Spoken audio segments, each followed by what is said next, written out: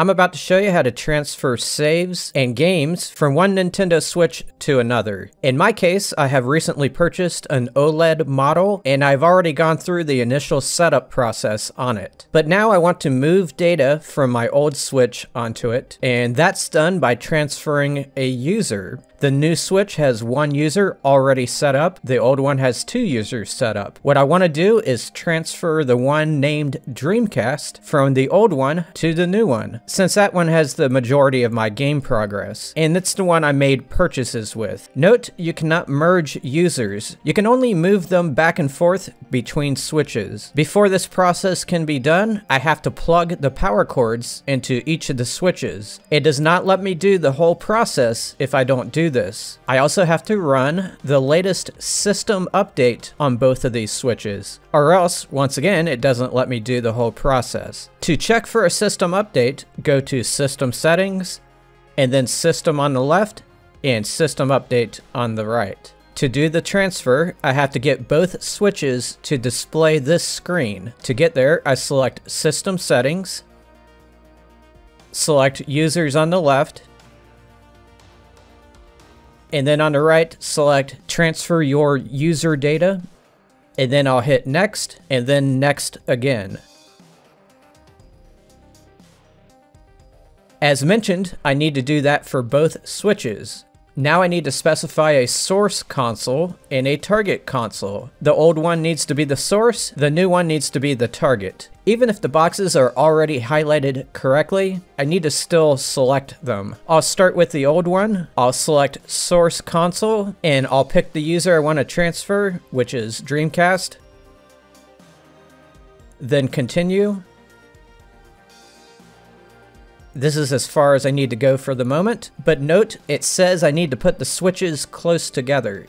On the new one, I'll select Target Console, then Sign In, and I'll click the first selection since I want to sign in with my email. I'm using the login information for the Nintendo account that is linked to that user called Dreamcast. This will allow me to re-download the stuff I bought, a process I'll show you in a few minutes.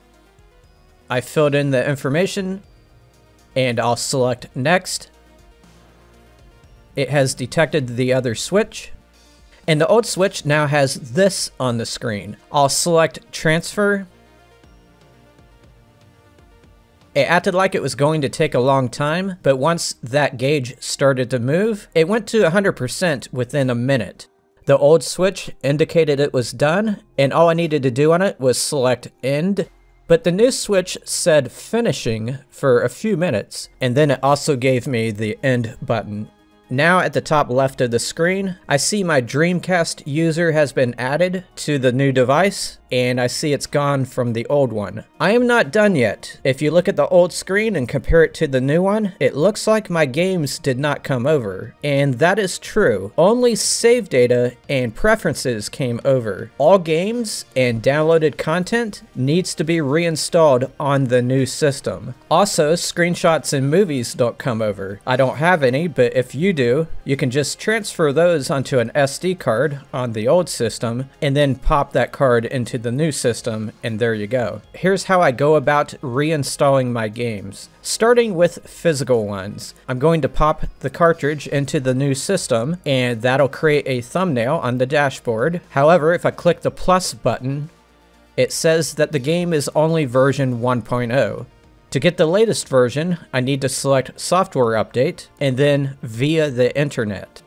There's now a status bar on the thumbnail as it downloads that. Now I'm going to check to see if my progress within the game has been maintained. I'll open the game, select the user I had that progress on, and then on this vehicle selection screen, I can tell that I still have the stuff that I unlocked before. So my saves have made it over. I also bought DLC for this game, and I'll check to see if that's still there. And no, it isn't showing, because when I try to select one of the DLC tracks, it says I need to buy it, basically. It doesn't know that I already bought it. What I have to do is go into the eShop, select the user that I bought the DLC with, And then in the upper right corner, I'm going to select my user profile and then select re-download on the left. On the right, it'll show everything that I've ever bought in the eShop with that user. And one of those is the DLC for the Mario Kart. I'll click the cloud symbol beside it to re-download it. While I'm here,